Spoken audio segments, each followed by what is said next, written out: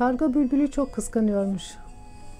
Bülbül her seher vakti o güzel sesiyle şakıdıkça karga sinirlenir.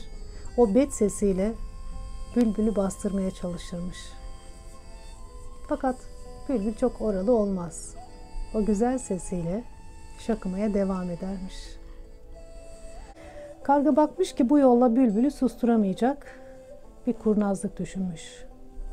Yine seher vakti bülbül şakırken ona yaklaşmış en dostça sesiyle Bülbül kardeş sen boşuna ötüp duruyorsun demiş. Neden diye sormuş bülbül. Sen gül için ağlıyorsun. Kendini perişan ediyorsun.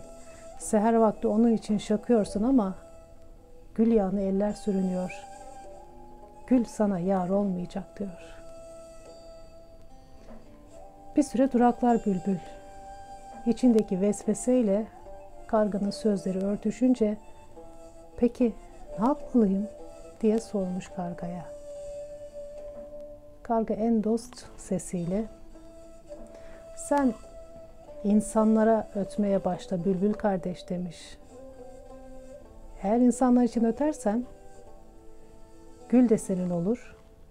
Gül yağını sürünen de gülü seven de demiş. Karganın bu öğüdüne uymuş bülbül. İnsanların arasına karışmış. Ve o günden sonra seher vaktinde bülbül sesi yerine kuşluk vaktinde karga sesini duyar olmuş insanlık.